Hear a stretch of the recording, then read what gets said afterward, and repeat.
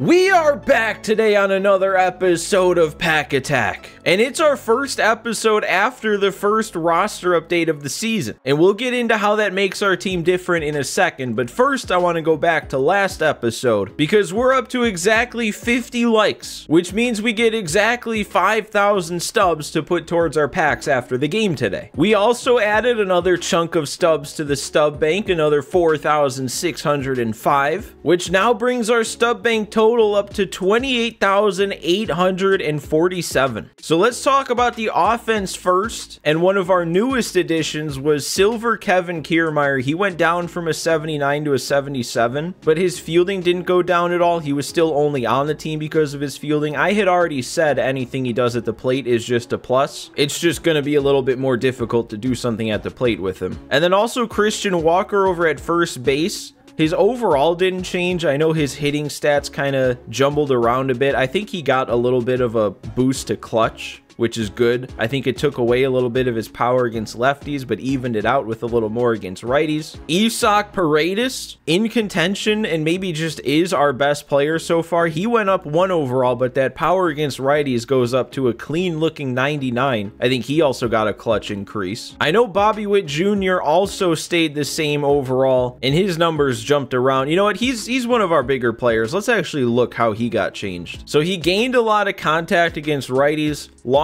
about the same amount against lefties. Power pretty much stays the same, but the clutch got worse. And then you might notice a returning face here in left field. Spencer Steer is back in the starting lineup. He got a couple points increase to his overall, but it's not necessarily that. That's why he's back in the lineup. But it's because Brandon Drury went down from a gold to now a 77 overall, and he already wasn't playing great, and now he's even worse. So we're just going to go ahead and move him to the bench. But I know you see who else is on the bench here because because we did pull silver at the time, Elly De La Cruz, in the last episode, and he since got bumped up to a gold. But he replaces Jordan Lawlar as our 99 speed guy on the bench. He's also a really good bat against righties. And as much as I would love to start him and find a way to get him into that starting lineup, our infield is just so crowded and nobody can move to the outfield except for Christian Walker. And I just don't want to move Christian Walker to the outfield. So for now, Elly's home is going to be on the bench as our speed guy. We also lost another gold though in Luis Arraez. He got a decrease. I don't even remember what he was at, but now he's a 79. He's a little worse. Then when it comes to our pitching, I don't really think any of these pitchers got changed except I think Merrill Kelly went up from an 80 to an 81. And then in the bullpen, I think things got a little worse. So first of all, Jose Soriano, who closed out the last game, he's no longer a relief pitcher at all. He got moved to a starter. I thought about just putting him in the rotation, but with 65 stamina and it was tough to throw a strike with him anyway, he would not last further than like the third inning. So I just, I'll leave him off the squad. So in terms of additions from the packs in the last episode, we added Jose Cisnero, Ian Hamilton, and Shelby Miller. We're also down a lefty overall. We had four and four. Now it's five righties, three lefties because Will Smith went down from like, I think the 76 he was at to a 68. Our other lefties didn't fare much better. Yuki Matsui also went down to a bronze. I think Aaron Bummer went down a couple overall. John Schreiber did go up to a silver, but that's only one overall increase. I think Shelby Miller went up two, and then Hector Neris went down one. So still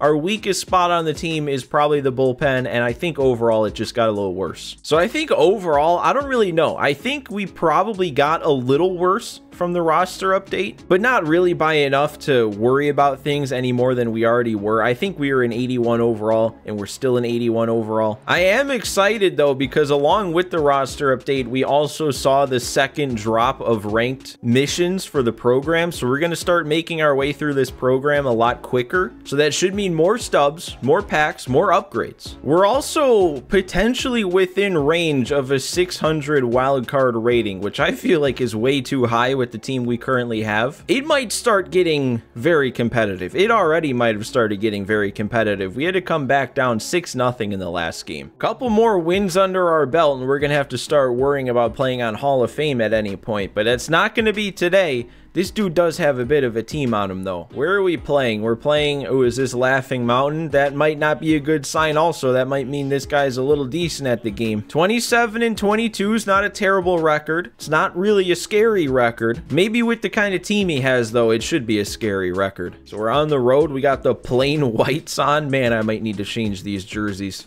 That is so plain. Oh, and right away? One pitch? Look who came ready to play today. Bobby Witt Jr. with his first hit in a couple episodes, actually. Dude, and then he went with like the same pitch in almost the same spot to the lefty. I'll, I'll take my walk, I guess. I thought he was going to be somebody giving me a lot of meatballs, and then he couldn't find the plate.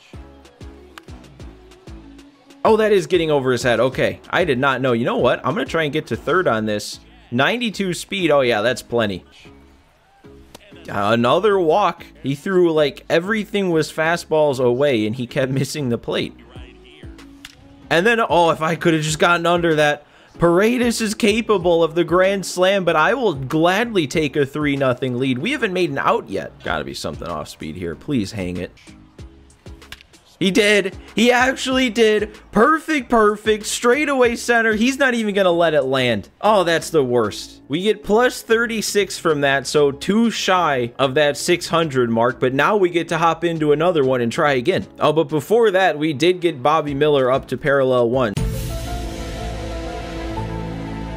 So now we have an 88 overall for our second game. All right, we just gotta hope that I can carry that over into a second game. I hope it's me and it's not just the fact that I that I was facing Jack Leiter because Randy Johnson at a parallel four is not Jack Leiter. I better be the same level of locked in as I just was because I'm gonna need to be. Oh, no. Okay. Fastball's a little faster, and that was only the two seam. Can't be behind that when he's going to give it to me right there. Oh, and then he... Guess I was only ready for about 94. 102. Kind of blew me away. Go foul. Come on. You, very early, you can't just let that be a foul ball. We, we got to put that in play. I guess uh, I guess on one hand, though, this is going to be Lowell's first AB against the lefty. That could be good. Oh, wait, that might be a hit. Oh, that is going to get down fair. I don't I don't know about that one. I mean, we're we're seeing the full spectrum here. We had very early stay in play, now we got very late staying in play. Oh, you know what? That's actually a really good swing. I just got to recognize that pitch and lay off of it. But that's something to build on. Okay, this dude has not swung the bat once. So either he's very patient or he doesn't have a good eye. Oh, he was way late on that. He might not have a good eye, and he might be leaving a lot of pitches taken over the plate. Might be able to steal my fair share of strikes with some pitches like that one. And we got him to roll over on the circle change. Let's not make the play any more difficult than it should be when you got 99 speed going down the line. Ooh, I was not expecting a swing with how this guy has been approaching his at-bat so far, but I'll take it. Late on it, pop fly, 0-0 first inning. All right, we've got an inning of seeing Randy under our belts. Things should hopefully start picking up here. And, well, I guess not really. I actually thought I made a good swing on that. Oh, no, I timed up the fastball. We got to put it together, man. Especially if he's to leave pitches over the meat of the plate like this. Like, I've seen plenty of pitches to do damage on. Wow, dude. I'll give myself some credit for actually seeing that pitch for what it was, but a high and in slider with two strikes that perfectly? It's just cheating. Okay, what we can't do, Merrill Kelly, is miss that spot, because that is a free strike all game. He's giving it to me. I don't even know how that ended up out of the zone. Okay, you know what? Maybe he's expanding his zone a little bit, because I didn't think he'd swing at that either. I'll take the ground out. That's just a little harder hit than we want. There we go. Always go inside to Joe Torre. I refuse to believe that that man can turn on anything. Come on, Kelly, buddy. Come on, umpire, really. That That is a strike. Oh, of course, dude. He he was dialing that in. Late jammed swing foul like two or three times in a row before doing that. I should have just thrown the fastball in. He just wouldn't have gotten around on it. Okay, that, that's going to get us out of the inning. Just one extra pitch. We just had to lose some stubs by giving up a hit, though, because of course we did. All right, Steer. This is going to be his first at-bat for me, not supercharged. Let's see what he does in his return to the lineup. Uh, that'll drop in. I'll take that. We have three hits combined between us so far, and not one have we not been laid on. This has been a bad display of offense so far. Kiermaier, that's going to get over his head too? Sure, why not? Kiermaier gets downgraded, he's still picking up hits. Lefty lefty against Randy. Bobby Witt? Oh, that's long gone. Yeah, I finally turn on the fastball. Bobby Witt Jr. makes him pay. Finally have the lead. I guess it comes in bunches for this guy. His his first game, was it his first game? Two home runs? Doesn't do anything in between, and then now two home runs today. Ooh, and I that was asking for another one. Ah, dude, I, I knew that was coming. I read that pitch like a book. I knew exactly what he was going to throw. I just couldn't get underneath it. Oh, no. Why is he challenging me with that? I turn on the fastball, hit a three-run shot, and then the next two batters in a row, he just gives me the exact pitch, and I don't do anything? If he does it again, I'm hitting this out. There, there's no alternative. Okay, well, I'm still going to get a hit. That was full transparency, that was supposed to be a check swing. One of the rare times that an attempted check swing that's a full swing actually pays off. Oh, then he got me. That's just that's just a good slider. All right, we're pitching with the lead now, but that can't mean that we get sloppy. Oh, Okay, so I guess up and in isn't the pitch that'll work. I, I guess he can be late, or he is late on every single off-speed pitch inside I throw, but yeah, sure, it makes sense that when I throw the fastball in, he's just around on it. There we go. He he was kind of on that. I'm glad he check swung because he, he might have hit that. Oh. Oh yeah, he would have hit that.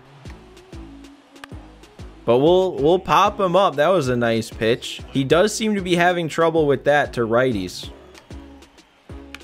Oh, okay. I, I guess if for the most part he's late on every pitch I throw, throwing that cutter away that normally gets people early and rolling over on it is just going to be very hittable for him. Oh, you know what? I guess with some of the hits that I was getting, I can't really complain about that one. We just gotta squash this here. Oh, he's taking off first. Okay, get him trying to go to third, maybe. No, he's just going to go right back to second. This is how it happens, isn't it? Every single time when both people have trouble scoring early and then the first person scores, it just opens the gates for the second one to score. It makes no sense. What changed? Okay, if another one got back up through the middle week, I don't know what I would have done. At least we still have the lead. It's just, we're not safe. Oh, that shouldn't have gotten me. That should never be getting me.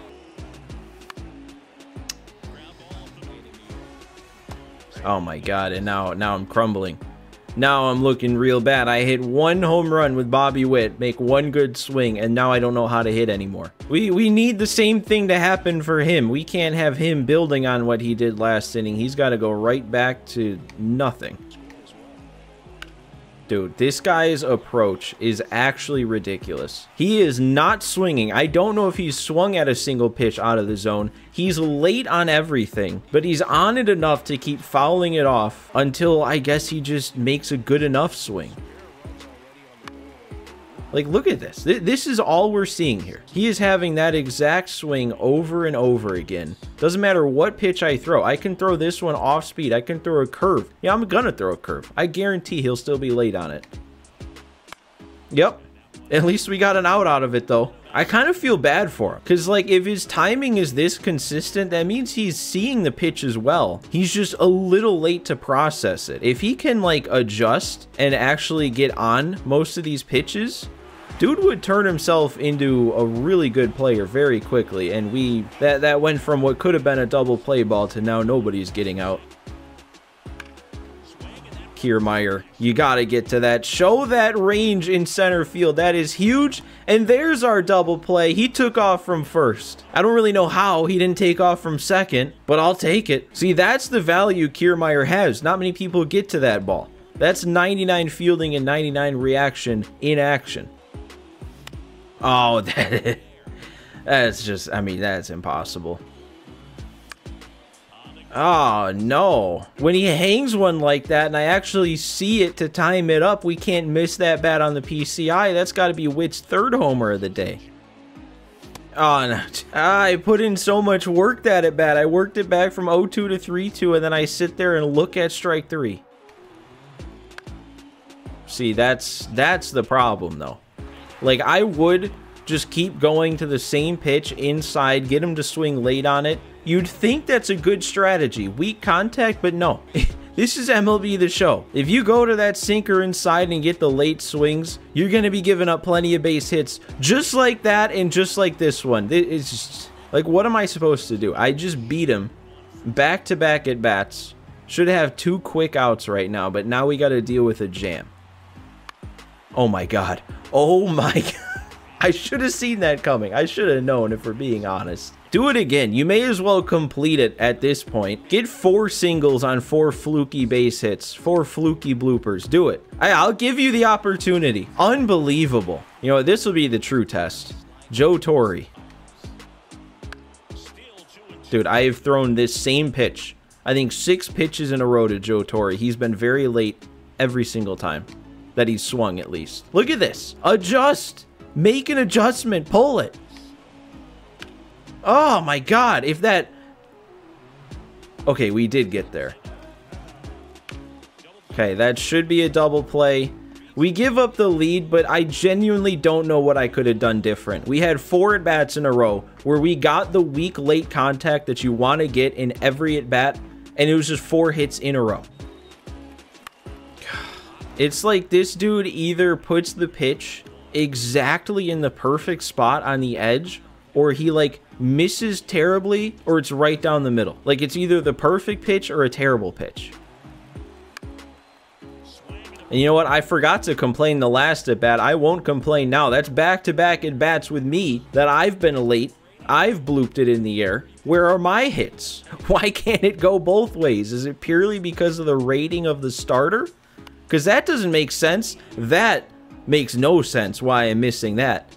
Why am I late and under that? Well, dude, I don't know. For this inning, the three batters do up pretty much hit righties and lefties the same. So we're going Victor Gonzalez, and we're going to see what happens. Hey, he was somewhat on that. Okay, and there we go. We got the grounder to the other side. At least that one's not dropping in. I just, I don't know, man. I'm going to have to figure something out here because I have not, I, I think I got a hit right after Witt's home run and then I haven't done anything since. That's probably a good sign though, the fact that he paused. Okay, can I get something? I I'm fine not getting the fluky hits, but I gotta get the check swings, at least. Uh, dude, just one check swing, please. Okay. If you're not going to give me a check swing, at least thanks for giving me that call.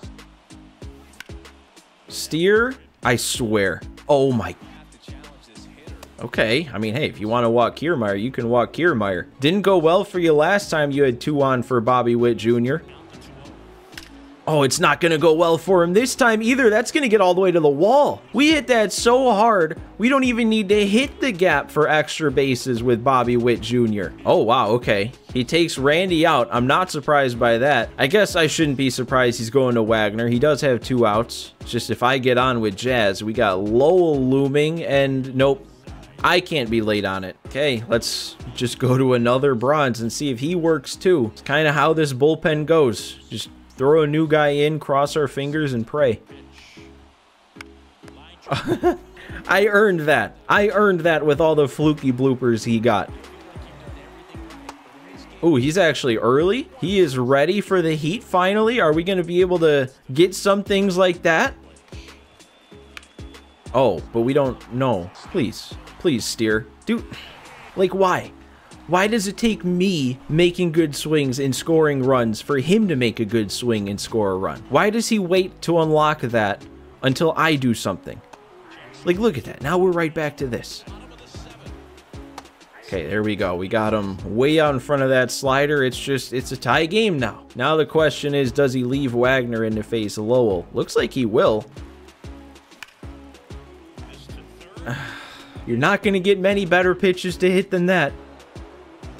Okay, I'll take another walk here. Lefty, lefty. We work our way on base. What can we do with Paredes? Yeah, go to a righty, actually. Do it. We got more power with Paredes against the righty, and then Meadows up next. Yeah, there we go. He is going to the righty. All right, come on. Lock in here. This is a better matchup now. Get... Mmm. Mmm. No, that's, that's a good time right there. That's fun stuff. And man, it's, uh, it's already the ninth inning. I kind of feel like we have to do something here. I don't want to go into the bottom of the ninth tied for him to get some kind of fluky run to win it. Oh, I didn't get up to it. Oh, I was so on that. And you know what? I anchor the PCI up. So technically, I move the PCI slightly down there. Like, what am I doing? No, dude, no. Run it out, maybe? Eh. Get down the line. No, come on. Even good late swings I can't get hits on. I am not fond of the situation we currently find ourselves in, but alas, we are here. Oh, I just know how this is going to end too. I just know exactly how this one's going to end. Kiermaier's going to get to that. He has saved a few runs probably in center today. That one's not going to get caught though. Dude, I can't find the timing with this guy. At least we're going to get an out there. Walker has no arm strength, though. Okay, he's not going to go for it. No, he did not. He did not just win it on that. Please.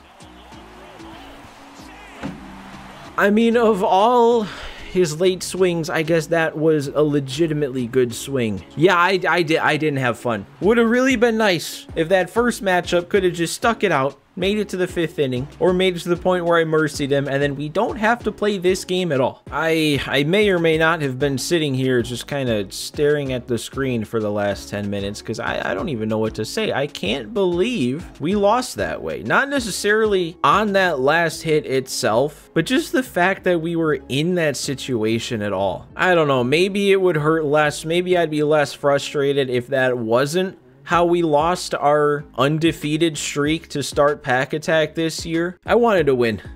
I want to win every game, but I wanted to win that one. We get Merrill Kelly up to parallel 2. I guess that's it for today. All right, but before we can add up our stubs, I feel like there's a few things that we have to clear up because that's the first time so far this year on Pack Attack that we've had a quit in the middle of a home run like that. So what that means for the stats and how it shows up here is that hole at bat that we hit the home run, like we hit the home run. We know it left. It was a no-doubter. But since it didn't land, since the game didn't transition into the next stage and put the runs on the scoreboard. It acts like it didn't happen, but we act like it happened. So this game one, instead of being 3 nothing, was actually 6 nothing because that was a three run homer. But then the same thing is in play as before. We still separate these two games. So no multi home run game for Witt because it was two separate games. But then there's two things also that I'm not exactly sure how to count it. Because like in this first game, he quit before I even got the chance to pitch. Normally, regardless of the amount that I pitched, if we don't give up a run, I call it a shutout for 1500 stuff subs. I'm still to do that for this first game. I just don't know if it feels right. The other thing though that I can't believe I never thought about in the past is if I just added it up like normal for our multiplier, we'd have a one game losing streak and that just doesn't feel fair when we got to 10 wins in a row, but we never would have had the multiplier credit for 10 wins in a row. So instead of counting it all up at the end as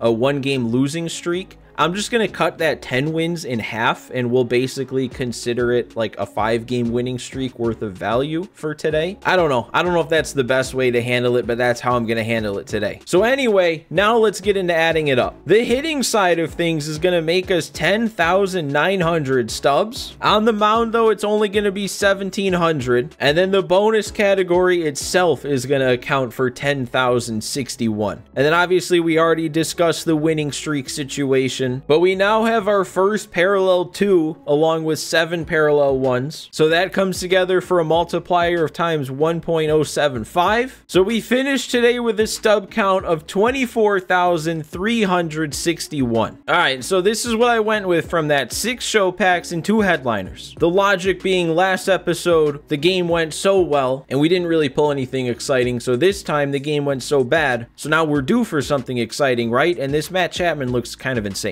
But let's get through the six show packs first, see if we get anything exciting out of these. That's not bad. That's a reliever, right? Yeah, there we go. Our first gold relief pitcher. Kind of not a great pitch mix, but he's got a lot of hits per nine. We also, I don't know how many show packs we've opened up total, but this is, I guess, including that first episode that I didn't call episode one. This is kind of 10 videos worth of opening up show packs, and I haven't pulled a single chase pack out of a show pack. So I think we're due for one of those too. We also got another gold, another one of these golds. That works. We're back down to a silver and left, so not anymore. Three more of these to go. We're halfway through. That one's nothing. Come on, man. Give me a chase pack. It just, just give me one. Just slide me a chase pack in this last one here. Why not? What do you have to lose? Okay. We I guess we got a couple upgrades. We got a couple golds and we still have I mean we're going to pull Matt Chapman. So I guess I can't complain. I've been saying for a while that we've got to be due on the odds, but I never had gone back and looked and counted it up. I just did.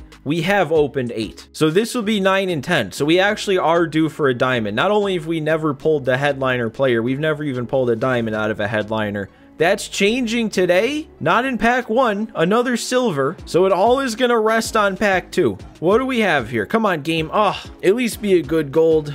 Uh, doesn't really help us. But all right, I guess that brings this one to a close. Our first loss on Pack Attack of the year. We gotta avenge that next time out. So don't forget, guys, to leave your like on this episode so you can give me a hundred stubs towards the next video. And also, if you're enjoying Pack Attack, if you're enjoying seeing me complain about the game, feel free to hit that subscribe button. But thanks for watching another one today, guys. Thanks for stopping by again, and I will see you next time.